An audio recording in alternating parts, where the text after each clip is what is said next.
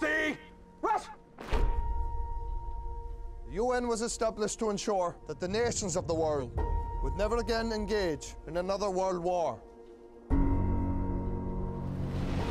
As a neutral country, we're the second wave of Irish soldiers to be sent into the Congo. Jesus fucking snake! The compound is a joke. We're wide open. They would never dare attack United Nations company. You never been in battle. Do you have a plan? Just to pray there's no need for us.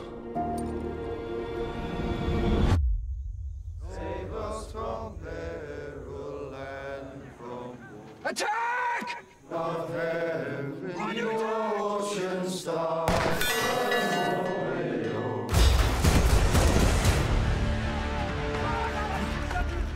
I require your surrender. If you continue to attack, we will continue to respond.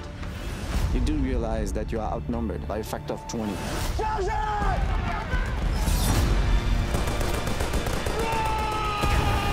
You're hanging us out to dry. We need reinforcements. There are larger things here at play than you can possibly imagine. I don't give a damn about the larger things. Tell me what I'm supposed to do. We each have our part to play in history. Yours is happening right now. They're coming!